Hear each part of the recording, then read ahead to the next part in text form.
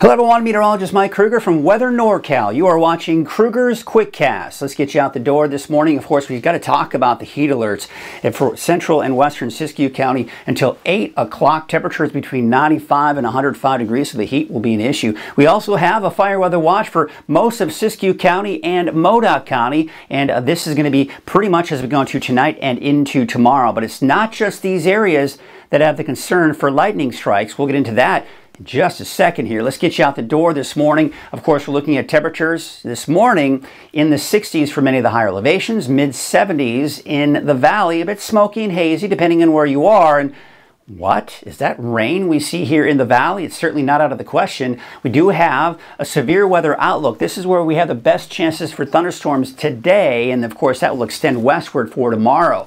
Let's take a look at Futurecast for today. By noon, we're beginning to see the clouds move in, but the rain still down to our south and to the east. There you can see, of course, that kind of pushes northward, so by 5 p.m., we're still seeing most of it to the east of the valley, but we could see some of that making its way into the valley here later on tonight. Be sure to watch my full morning forecast if you want complete details on not only tonight, but those chances for thunderstorms going into tomorrow. But just be aware that it's really not until tonight that the valley could be looking at some of those showers. Temperatures today on the hot side though, over 100 degrees for most of us in the valley, and we're talking mainly 90s for the higher elevations, and those temperatures should be in the mid 60s for your daytime highs. Have a great day, everyone.